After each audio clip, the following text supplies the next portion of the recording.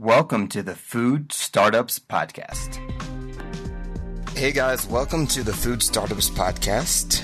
I am here today with Danny, and we have a special guest that we're going to introduce in a little bit. And We're going to be broadcasting today from three countries. I'm here in Bogota. Three countries and three continents, actually. I'm uh, I'm up here in snowy, snowy, snowy New York City. Great, great, and in a little bit, we're going to introduce our, our guest, uh, Gaurav Gupta. But first, we wanted to go over a couple things with the show. Um, we are now available in Stitcher if you guys use that app, not just iTunes and Libsyn and a couple other feeds. And we also wanted to give a shout out to the first two customer reviews for our podcast. Um, the first one is by SNG Lib. He says, The Food Startups Podcast is a great resource. I'm going to paraphrase here. Two Americans carving out niches in Latin America, very informative. If you're looking to get started in the food industry, particularly in South America as an exporter, great resource. Danny and Matt will point you in the right direction. Thanks so much.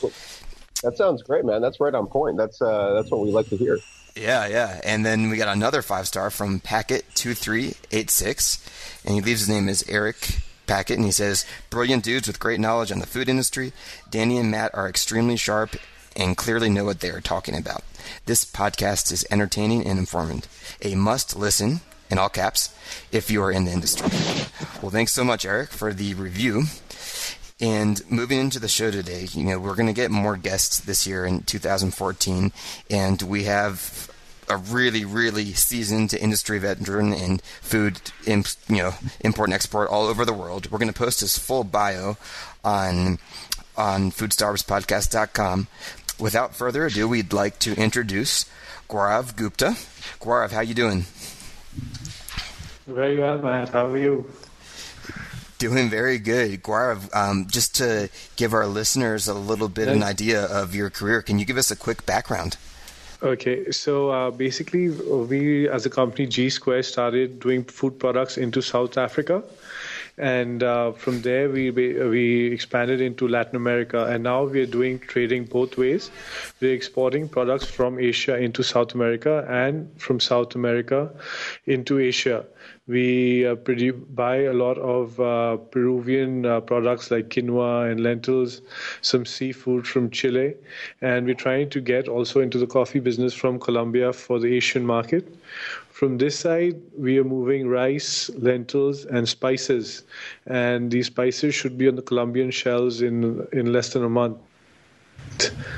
That's fantastic, fantastic. First of all, congrats because I know last time that we spoke, uh, that was still a process, and uh, uh, I know things work slowly in Colombia. So uh, you've made some great progress on that. Seems like. Yeah, thanks. It got we got lucky because even though this is the time for siesta and fiesta in Colombia, I think we just got lucky and got us products pushed through. Definitely, well, it says something about your quality then. If they're really, uh, they, they know they need to stock uh, stock their shelves. Actually, maybe for their micheladas, they need some of their uh, they need some salt and peppers and different spices.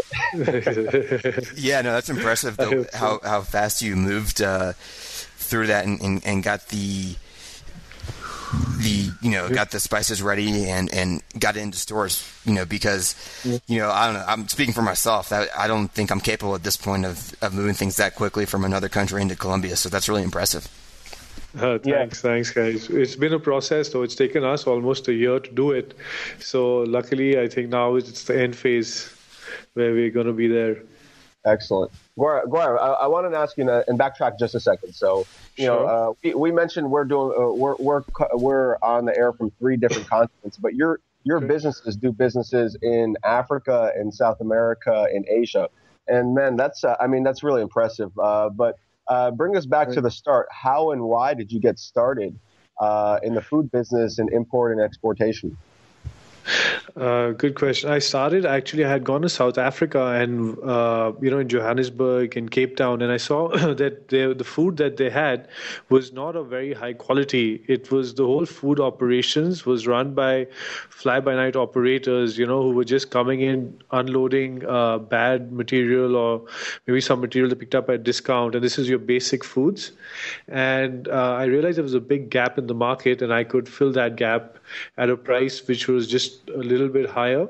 And once people in South Africa started realizing they were getting quality product from us, they accepted the product really quickly and they would ask for it by name, even though we were slightly more expensive.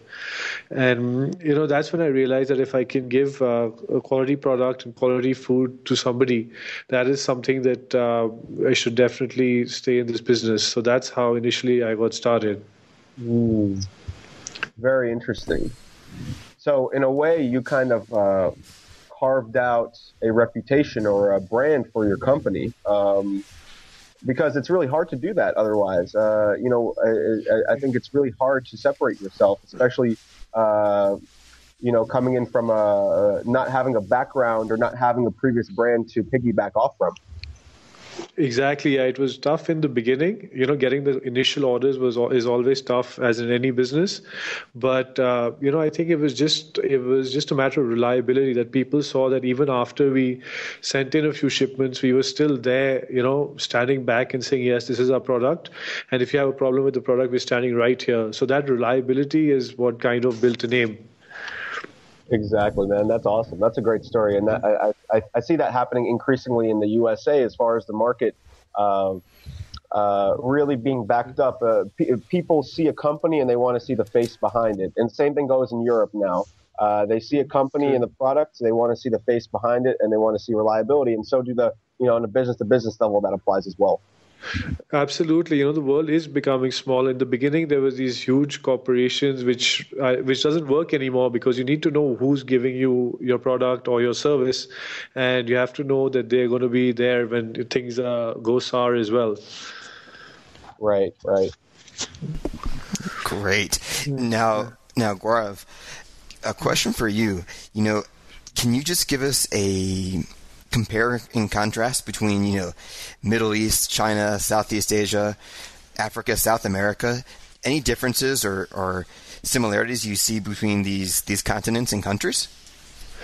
Sure, it's a, it's a very broad topic, uh, but to pick off a few, I would say the the beginning I would say is decision making and trust. It's easier and faster in certain markets like uh, you know Africa or the Middle East. It's people will give you an order faster. The decision making process is not so layered.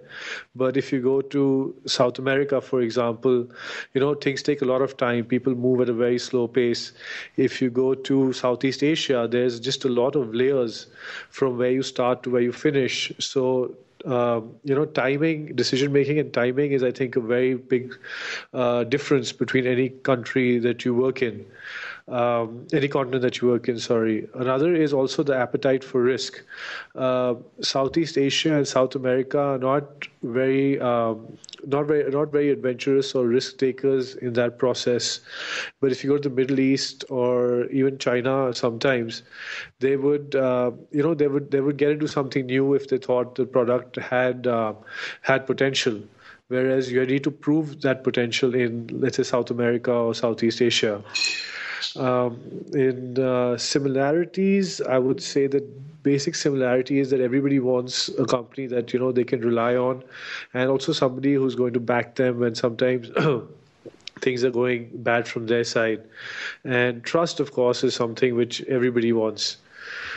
Mm-hmm. Um, so, sure. Yeah. Yeah. Uh, sorry. Uh, quick follow up. I was just thinking. Um, so, uh, with that in mind, uh, you think you can just lead me through really quick, like, you know, how did you get? How did you really? Uh, how did you kind of go all in when you were when uh, starting from South Africa and then uh, just moving on to various geographies where your uh, where your companies um, play in right now? How did you kind of decide like you know uh, listen we're really onto something we're really onto something because it's really hard to do business across these different continents and different cultures that you don't know i mean i i can't uh, I, uh, it's hard for me to imagine doing business in Argentina or Brazil, and they're on the same continent as Colombia. Yeah, yeah, I can, I can get that. Absolutely. In fact, you know, sometimes even the even the more closer the uh, countries are, they're actually more different in uh, doing business. Mm-hmm. So I, I, agree with what you're saying. Uh, you know what we actually do is when we go into a market, we try and see in different parts of the world where there's a gap and where we've been filling that gap. Now the thing with food and the products that we do is there's certain markets which we know we can offer better quality or a better price or there is certain markets where we know that our product does not exist in this market or there's no competing product so we need to introduce that product into the market so that's what we look for you know and once we have that market then we get in of course the cultural um, you know the cultural barriers is there for any export business it can be within the same country you look at Colombia itself and there's a lot of difference in doing business between Bogota Cali and Medellin. Mm-hmm. So every i mean like you rightly said countries in the same continent are different. I would say even cities are different. It's just a matter of you know understanding it and sometimes you need to push and sometimes you need to know when to step back and just understand what is going on over there and uh, i think we've you know we've we spent some money we've understood the market we've tried to get some local players or local partners on the ground you know who will kind of guide us through the final steps in certain markets so it's uh, it's it's really hard to say that each place is uh, you know you can whatever works for one country or one city will work for a different one. Gotcha. Yeah. Make uh, no great response. Thanks a lot. Yeah, thanks. Fantastic. Um, this information yeah. is great, and I think our listeners are going to be really thrilled to have it, um, especially because you've covered you know almost the whole world in in your your business venture. So that's really cool. Um, moving on, we wanted Thank to talk you. about this, and and Gaurav, I know you'd agree with us in this sense that you know our listeners are usually in the beginning phase, right? It's for startups, right? Yeah. And it's also yeah. you know the the quotes where it's like when you really need help you can't get it. And then when everyone's offering their hand to you you've already kind of succeeded. And the idea yeah. that you know like when you're starting out that's it's exactly very, very difficult right? And correct, yeah. and we wanted to know like what were your your biggest challenges in the first few years of launching your business yeah, that's a good question. And like you rightly said, you know, in the beginning, it's really difficult because, uh, you know, nobody knows you. So the whole question is, how do you gain orders or how do you gain trust? Today, if I have to place an order on you, you know, how do I know you're not going to run away with the money or, um, you know, so so I think the biggest challenge for any entrepreneur is initially is just to break into the market and for that, I would I would say that uh, whatever advice I would give is to do your homework and do your background check and see the product or the service that you're offering, and see that why you know is there a niche product, is there a price competitiveness which you can offer, there has to be some USP to you doing that business as well. Because no matter what you get into today, the world is very competitive. And as an entrepreneur, as the biggest, even for me, the biggest challenge was just getting, initially was just getting orders, getting people to trust me. And when I started in 2003, the world wasn't as connected. So it would take a long time for people to, you know, understand that yes, you're here. So initially, it's getting orders. The other thing is also raising finance. Mm-hmm. I think capital is is another big problem because you know what all what terms of financing do you have and uh, this is a very funny thing but even now like you know that we've been established and working if we talk to like let's say banks or any finance companies to finance let's say an order or a letter of credit from South America or Africa, the rates we get are much higher versus, let's say, a letter of credit or a loan from the Middle East. So, mm-hmm. You know, again, the market that you're working in also depends on the kind of uh, pricing that you get. Yeah, very interesting. You know, one thing that I was thinking about when you're talking about how the, the world is shrinking and flattening is just that uh, on my end in Colombia, I found that I almost uh, want to be in a, in a geography where it's difficult to do business simply because if I work hard, I'm able to have a competitive advantage in True. that area once I have some experience. And so, you know, like you said, because things are things have changed so quickly in the past few years.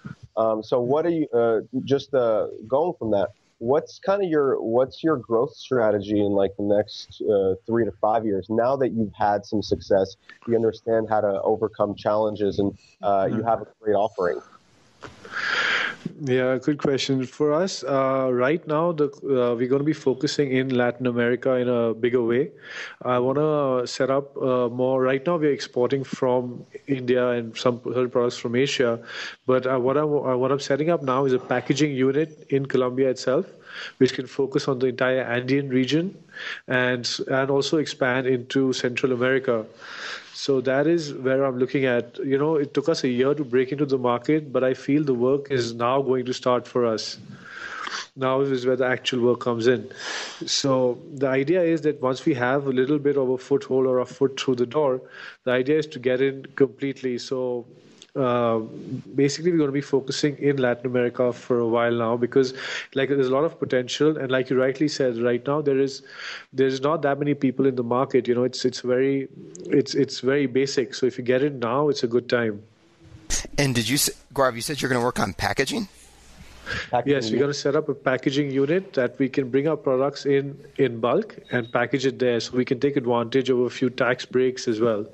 Oh wow! Well, um, at least for Danny and I, the packaging is like the the biggest struggle, one of the biggest struggles that we encounter. So that's cool to hear that you're you're going to be offering packaging services. The the quality here, there's plenty to, there's plenty of improvement and plenty of space here. So that sounds like a really uh, uh, promising venture. Absolutely, I, you know, I've been through the same thing over there. It's it's uh, it's, it's, it's it's cheaper actually for us to package it here and send it than get product there.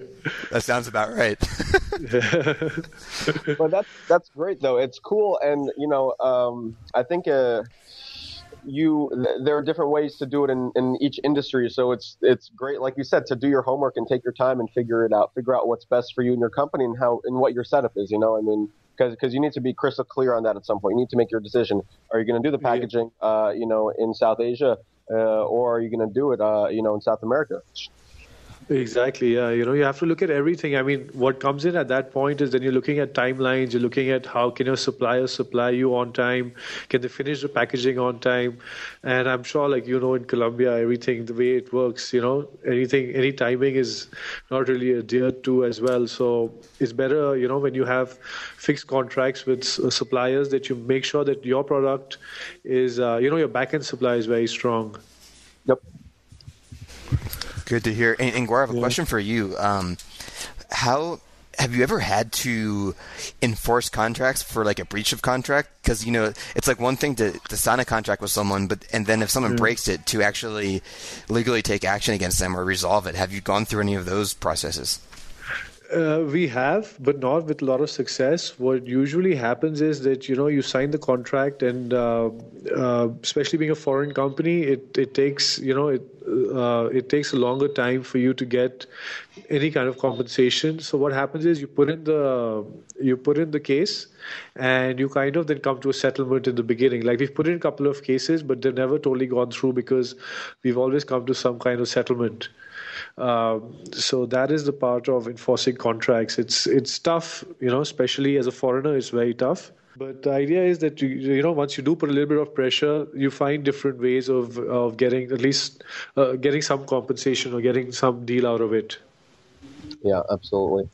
Um, Gaurav, and uh, let me ask. I, I want to ask you a question that uh, we kind of uh, Matt and I have talked about this a lot. Um, uh, we talk. Uh, this is a question more about startups and the startup phase earlier on in your business. You know, uh, uh being an entrepreneur is really tough, and uh, being a food entrepreneur is tougher uh, than than being a regular entrepreneur in this day and age, um, because there's so many challenges. Exactly. Was there ever was was there ever a time where things weren't working out because of bad breaks, because of just I mean lack lack of partners? Lack of capital. Was there a time where you thought about giving up, and how did you respond?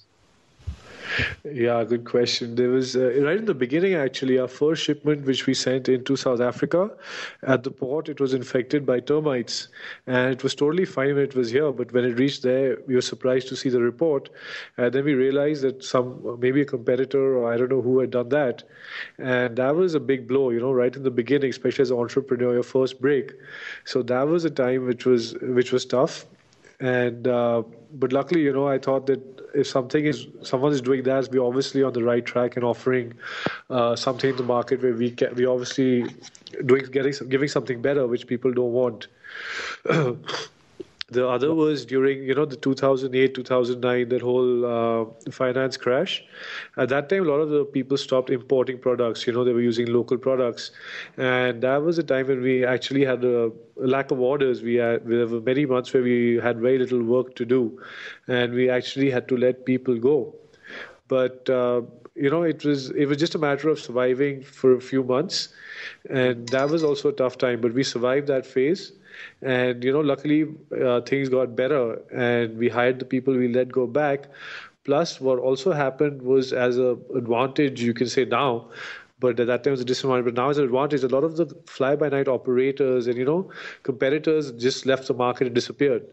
So it left a smaller pool of competitors to uh, to work with. Right. The landscape uh, the landscape became a little bit clearer with only the really good quality companies left. Exactly. But again, the beginning part, you know, initially as any entrepreneur, as any startup is, I mean, especially the different, the time between your first order and second order is a, is a tough time. Mm-hmm. You know, sometimes you break in, you get one, and you know, just trying to get a repeat customer. That is where you have to also, uh, you know, just just uh, go with the flow and kind of make sure that you're there.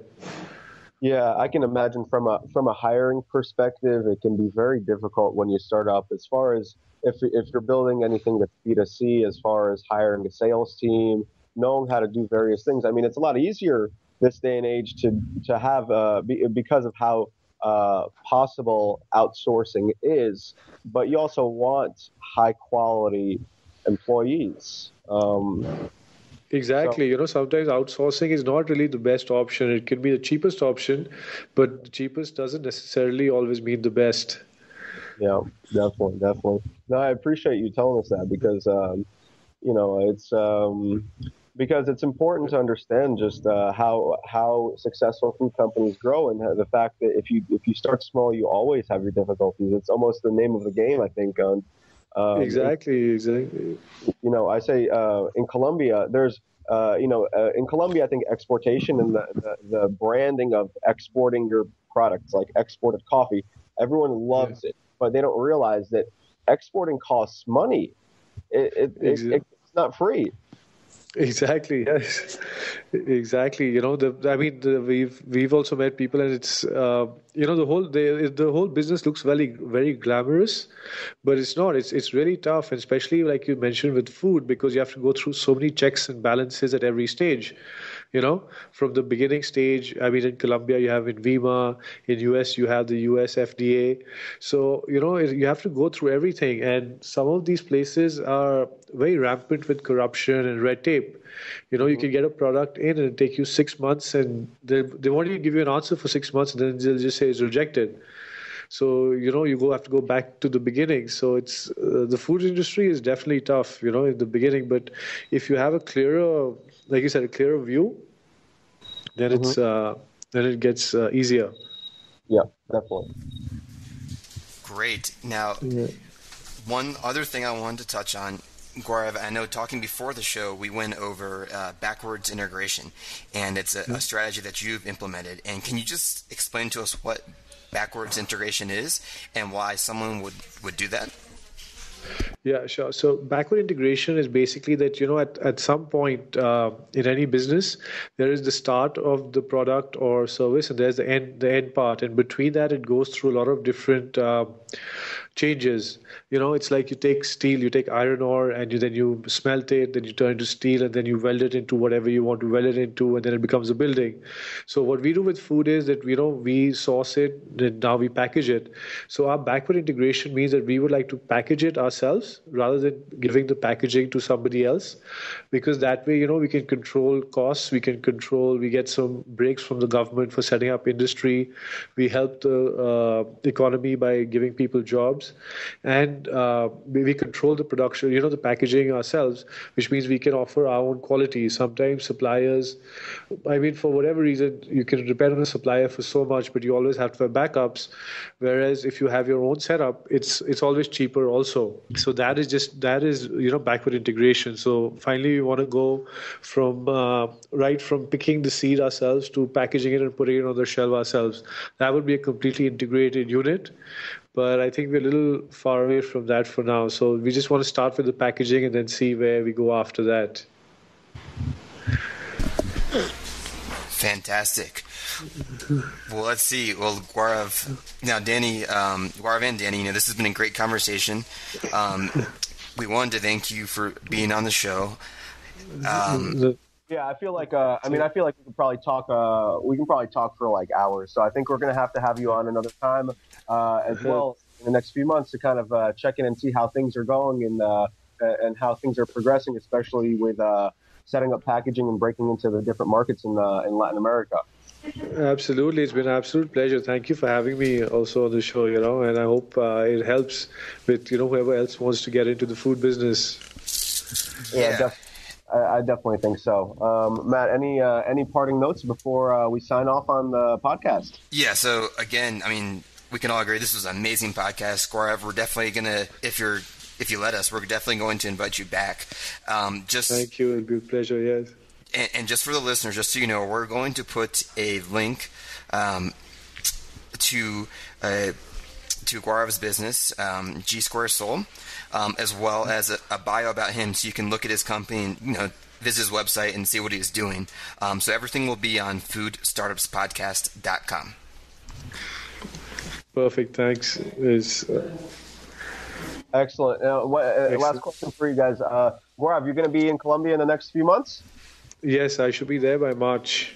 Excellent, excellent. Yeah, so we're, we're definitely uh, Colombia is picking up steam in the food world. Um, definitely feel free to reach out to us and uh, uh, to our listeners uh, so that uh, you know we can try to help you out in any way that we can and uh, teach you about Colombia and Latin America and doing business here. Um, so yeah, thanks a lot, Gaurav. Thanks, thanks, thanks for uh, this opportunity. Good luck, guys. Thank you. Bye bye. Thanks so much for listening.